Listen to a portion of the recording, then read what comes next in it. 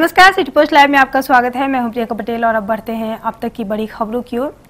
बिहार के पूर्व मुख्यमंत्री आरजेडी सुप्रीमो लालू यादव ने पिछले 24 घंटों में दूसरी बार सीबीआई में जारी आंतरिक गतिरोध पर ट्वीट कर केंद्र सरकार पर निशाना साधा है। लालू यादव ने अपने ट्वीट में केंद्र की बीजेपी सरकार पर संविधान के साथ रात के अंधेरे में खेल करने का आरोप लगाया है।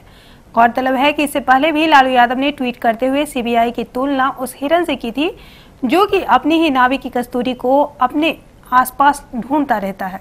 लालू ने केंद्र सरकार पर देश के संविधान संघ रात के अंधेरे में खेल करने, इसमें बदलाव करने की कोशिश का आरोप लगाया है। लालू ने कहा कि जो लोग बाबा साहब के संविधान पर बुरी नज़र रखते हैं, उन्हें जनता माफ़ नहीं करेगी। मुख्यमंत्री नीतीश कुमार दहेज प्रथा बंद करवाने की लाख कोशिश कर ले। दहेज वाली शादियाँ रोज हो रही हैं। किसी को कोई फ़र्क नहीं पड़ रहा। ना कोई महिला दहेज के लिए प्रताड़ित होने की शिकायत लेकर थाने पहुँचती है। कुछ ऐसा ही मामला मुंगेर के बासुदेव की है, जहाँ रेणु देवी अपनी बेटी की शादी एक युवक से की थी। जिसके बाद दहेज के लिए ससुराल वालों ने विवाहिता तथा उसके परिवार को बुरी तरह से मारपीट की और जख्मी कर दिया। जिसके बाद सूचना मिलने पर थाना प्रभारी मौके पर पहुँचे और पूर्णिया सदर अस्पताल में सभी को भर्ती करवाया और मामले की जाँच कर रहे हैं।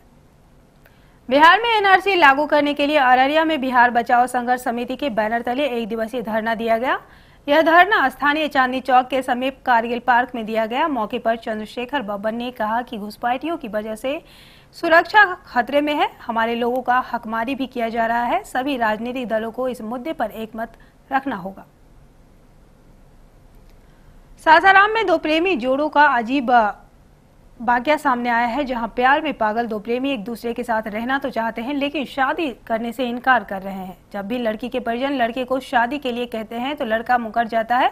इतना ही नहीं, लड़की पक्ष जब अपनी बेटी की शादी कहीं दूसरी जगह तय करते हैं तो उस प्रेमी ने उस शादी को भी तुड़वा दिया करता है। लेकिन कल लड़का, लड़की के परिजनों के हाथ लग गया, जिसके बाद की बीच सड़क पर ही उसकी जमकर पिटाई कर दी गई। हालाँकि पुलिस इस मामले को आपसी सहमति से सुलझाने की कोशिश कर रही है। वहीं प्रेमिका शादी के लिए तैयार तो हुई है, जबकि प्रेमी अभी शादी से इनकार कर रहा है।